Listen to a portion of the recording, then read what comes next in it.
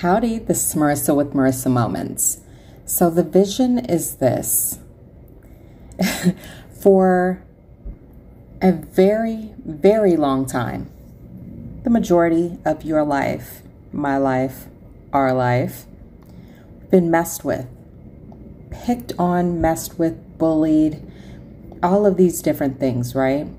And then gaslight, lit, gaslighted, whatever, behind it made to feel like we were crazy. We were stifled, diminished, betrayed, badgered, bruised, all of these things, right? Now, this isn't a tragic story because it's very easy to mix and confuse tragedy with triumph. Because at the end of the day, at the end of this, we're still here and we're still pushing forward. We're still even even more than that. We've managed to find and step into our divinity with both feet. But you know what? If they hadn't have done that to us, then we wouldn't be here. Now, we're not excusing away that behavior, but we're beyond it.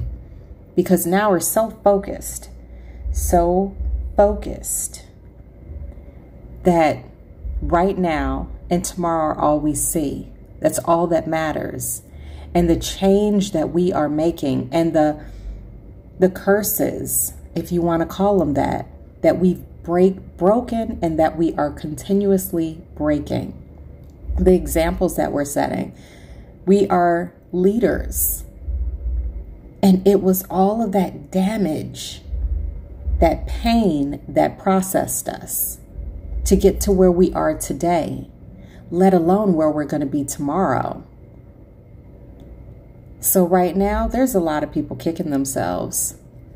You always hear they, they're going to wish that they were nicer to you. And, and you want to think that it's because they want to capitalize off of your gains, right? Mm.